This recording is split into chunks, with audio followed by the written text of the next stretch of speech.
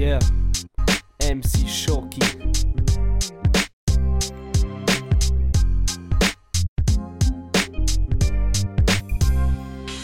Ich bin da und du Rap in deine Venen pushen. Du bist am Chillen und frissest deine Meeresmuscheln. Die bekommst du gratis in der Fischfabrik. Dazu noch ist der Gröwette, doch du bist gar nicht ein so ein tighter MC. Denn das hast du immer gesagt. Doch deine Rhymes sagt sich nur in deinem Zimmer grind. Aber über das hast du in keinem Moment überlegt. Hast einfach so mal am Ende drüber gerappt.